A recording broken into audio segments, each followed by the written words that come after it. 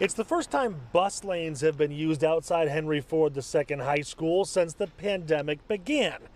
Inside looks very different, I'm nervous, obviously. I think anyone would be. especially for freshman Gabe Hess in class in this school for the very first time.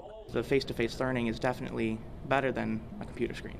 His biggest challenge so far Not knowing where to go, mostly. Uh, it's definitely gonna be different because you can't just take whatever route you want to. If you, if I gotta go next door, I gotta go around the whole school. For senior Denise Druick, to be honest, she is most excited about basketball coming back. But number two on that list, I think our mental health is going to improve just getting up and actually having somewhere to go for the day. I think it's going to be awesome. The hallways are, are my main concern of crowding and being too populated.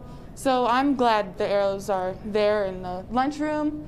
I'm a little nervous that I won't have anyone to sit by, but at the same time, I can always make new friends. as you can see, the lunchroom is socially distanced. Kids must wipe down their desk when leaving, and they've gone from three lunch sessions to five to help space things out. Of course, the hallways are a big change here in the school, but another change has to do with the passes in the hallways. Normally, you'd hand them out in the classrooms. Now it's a QR code you scan with your phone. That way, you don't actually have to have those hall passes and share them back and forth. First column, first row. As for classes, they come in person two days a week, online for three.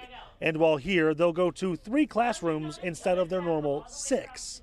I'm excited to get back into the building, you know, with my classmates and you know teachers, you know, actually see them instead of you know on the computer and stuff like that. And as far as wearing a mask, in this case, peer pressure is a good thing.